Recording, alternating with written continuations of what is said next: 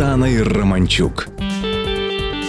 Всего за 4 года Светлане Копцевой из Новосибирска удалось из любимого хобби вырастить успешный бизнес и открыть филиалы в Испании и Италии. Сегодня компания Копцевой производит ростовые цветы и декор, а также обучает учениц России и других стран искусству изготовления больших цветов. Будучи художником по образованию, о предпринимательстве молодая женщина задумалась в период декретного отпуска, случайно увидев инстаграм тайских мастеров по бумажной флористике – Направление для России было новым, учиться было не у кого. Сборку первых цветов Светлане пришлось придумывать самой. Не просто было наладить доставку. Цветы поначалу отправлялись в огромных коробках, что было дорого.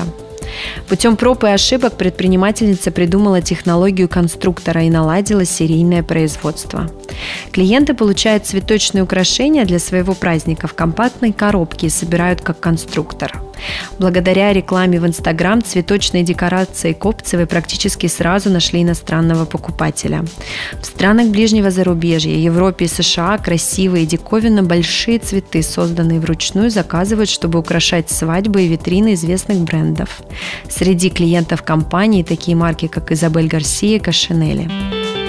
Светлана, что для вас означает быть предпринимателем? В первую очередь, быть предпринимателем – это значит уметь плыть против течения, перестать мыслить стереотипами и предложить миру что-то новое, как это делаем мы.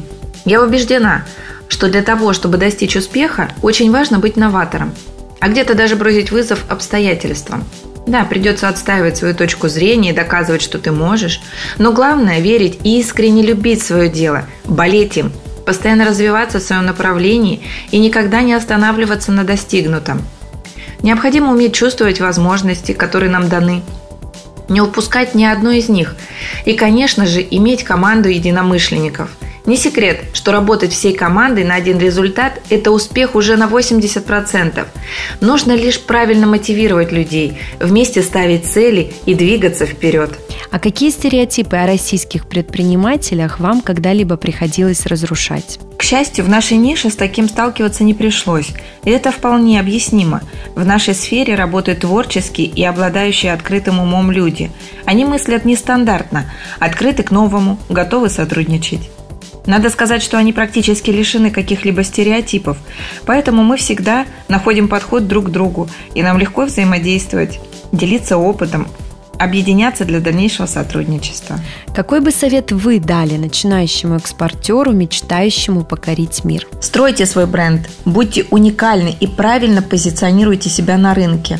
Сегодня у каждого бизнеса есть огромные возможности для развития. Есть множество вариантов рассказать о себе, своем товаре, показать людям, что вы лучше других. Главное быть в тренде, узнавать новые способы продвижения бизнеса и тут же проверять их на практике. Поверьте, ваши инвестиции в знания и ваше дело обязательно окупятся. Пользуйтесь каждой возможностью рассказать о своем бренде. Не загоняйте себя в рамки, а лучше думайте, как вывести свое дело на международный уровень. Все, что от вас требуется, это идея и безумная энергия. А для решения технических задач у вас есть команда тех самых единомышленников. Помните, вы не обязаны знать все. У каждого должны быть определенный круг обязанностей. Изучайте рынок и хватайтесь за любую возможность заявить о себе.